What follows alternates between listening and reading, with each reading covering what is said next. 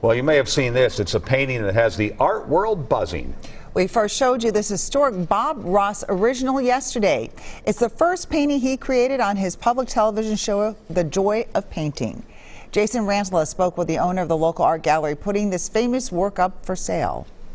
This is a classic Northern Lights scene. As the owner of Twin Cities based art gallery Modern Artifact, Ryan Nelson knows art. So, this piece right here is your classic mountain scene. Specifically, the art of Bob Ross. Alaska's where his inspiration came from. Modern Artifact now has six of Ross's paintings at their gallery. This being the most important.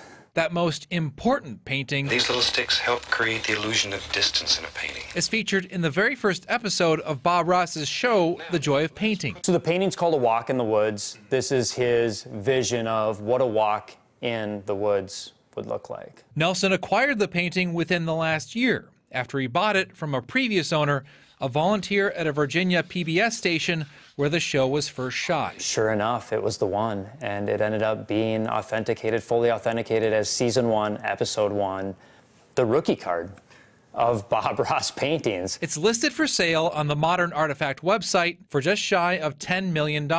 Even at that price, Nelson says a number of people have shown interest. Our phone lines have been so jammed up that it's really hard to figure out where the demand will land. Nelson says that demand lies less in how special the painting is We let it happen.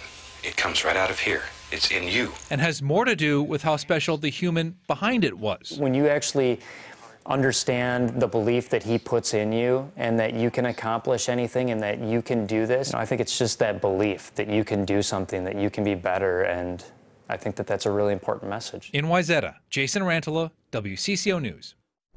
While the painting is listed for sale, Nelson says he is considering taking the art to museums and shows across the United States.